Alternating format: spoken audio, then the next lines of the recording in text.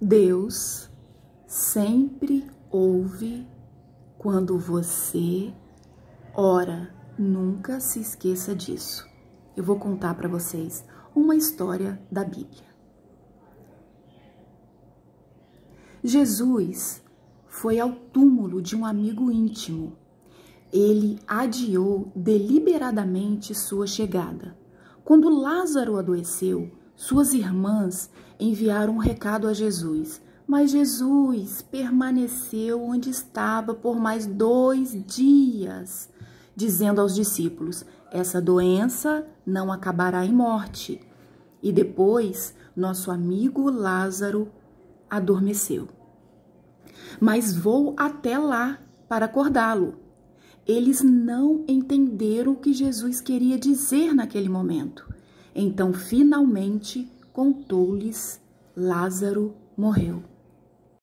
Quando Jesus chegou, Lázaro estava enterrado havia quatro dias. Maria e Marta acharam difícil não expressar seu desapontamento com ele. Elas sabiam que Jesus poderia ter curado seu irmão mas agora teriam que esperar pela ressurreição para vê-lo novamente. Jesus então disse: Eu sou a ressurreição e a vida. Aquele que crê em mim, ainda que morra, viverá. Quando chegou ao sepulcro, Jesus pediu que fosse aberto. Ao ser retirada a pedra, ele orou: Pai, eu te agradeço porque me ouviste.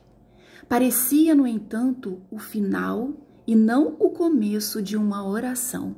Jesus, evidentemente, estivera orando todo o tempo.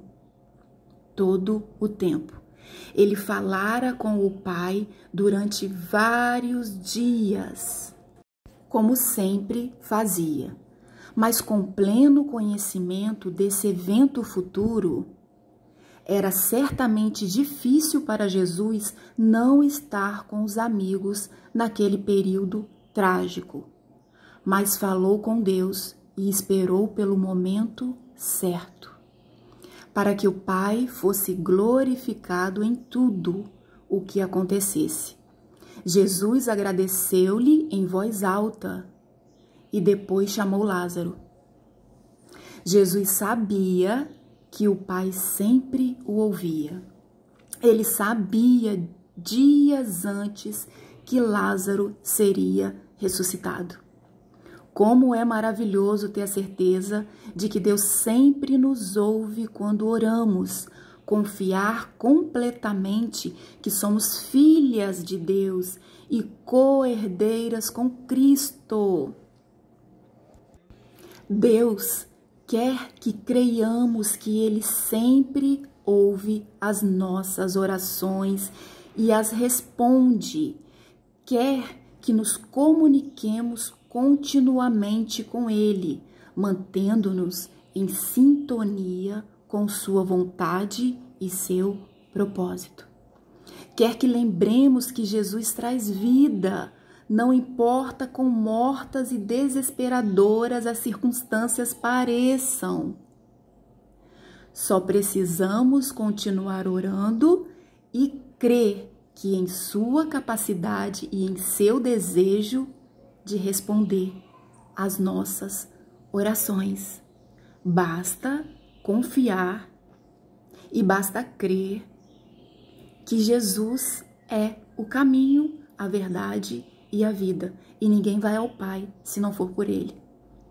Eu não estou falando para sermos religiosas, mas nós precisamos ter a convicção de que nós precisamos crer que existe algo superior, algo acima de nós, algo que é divino e poderoso, é Jesus.